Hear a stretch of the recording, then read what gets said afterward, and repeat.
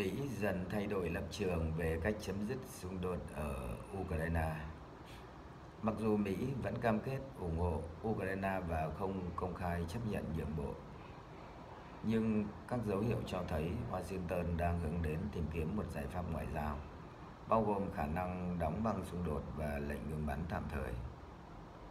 Tờ Ivesta Nga ngày 19 tháng 9 đưa tin Kể từ khi xung đột giữa Ukraine và Nga nổ ra, Mỹ đã đóng vai trò quan trọng trong hỗ trợ quân sự và ngoại giao cho Ukraine. Tuy nhiên, lập trường của Washington về cách chấm dứt xung đột này đang có dấu hiệu thay đổi. Mặc dù Mỹ vẫn cam kết hỗ trợ Ukraine, bao gồm việc bảo vệ quyền tự vệ của nước này, nhưng những kỳ vọng ban đầu về một chiến thắng dứt điểm của Ukraine trên chiến trường dường như không còn được đặt lên hàng đầu. Cụ thể, Đại sứ quán Mỹ tại Nga đã nhấn mạnh rằng Washington sẽ tiếp tục hỗ trợ Ukraine cho đến khi đạt được một nền hòa bình lâu dài và công bằng. Tuy nhiên, khái niệm hòa bình công bằng ở đây không được giải thích rõ ràng, nhưng có thể ám chỉ một thỏa thuận hòa bình có lợi cho Ukraine và các đồng minh phương Tây. Theo Đại sứ quán Mỹ, Mỹ ủng hộ quyền tự chủ của Ukraine trong việc bảo vệ lãnh thổ và chủ quyền trước sự tấn công từ Nga. Điều này thể hiện rõ ràng trong lập trường của Mỹ về kế hoạch hòa bình do Tổng thống ờ, Zelensky đề xuất. Đại sứ Mỹ tại Liên Hợp Quốc Linda Thomas Greenfield đã khẳng định rằng kế hoạch này là một chiến lược khả thi và hợp lý, vạch ra các mục tiêu cần thiết để chấm dứt xung đột.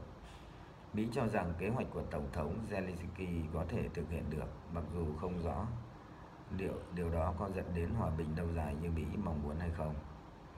Mặc dù Mỹ vẫn thể hiện sự ủng hộ đối với Ukraine, lời lẽ của Washington về cách chấm dứt xung đột đang dần thay đổi. Giám đốc nghiên cứu của Hội đồng các vấn đề quốc tế của Nga, Andrei Kotolov nhận định rằng Washington đã giảm kỳ vọng về một chiến thắng quân sự hoàn toàn của Ukraine.